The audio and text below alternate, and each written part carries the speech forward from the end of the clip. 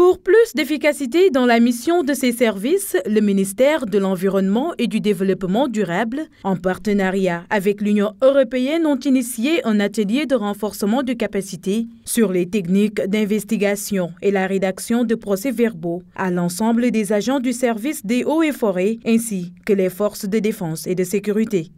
Il y a de fortes mesures qui ont été prises en fait pour lutter contre le trafic illicite de bois et d'importants moyens matériels, financiers et humains ont été mobilisés.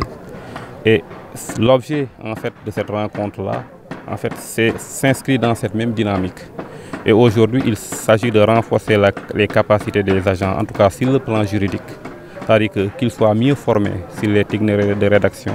les techniques d'investigation, afin qu'on puisse avoir de belles procédures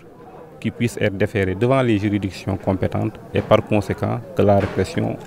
une répression conséquente puisse suivre. L'Union européenne, avec son partenaire de mise en œuvre, l'UNOPS, s'engage ainsi avec ses nouvelles orientations stratégiques à lutter contre les crimes de l'environnement.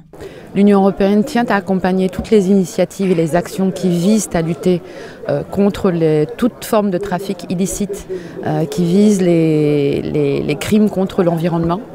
et tient aujourd'hui, euh, dans une série de quatre, ateliers qui s'est tenu jusqu'à maintenant, Ziguinchor étant le dernier. Nous avons eu un premier atelier à Thiès, à Saint-Louis, à Kaolac et aujourd'hui à, à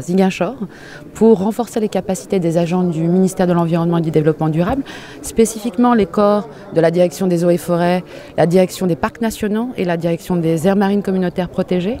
et les autres services de l'État et agents de sécurité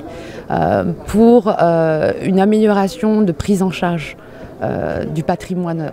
environnemental et de la lutte contre ces crimes de l'environnement. Signaler que pour mieux lutter contre l'exploitation illicite des ressources forestières, un forum africain pour le développement durable est prévu à Dakar les mois à venir.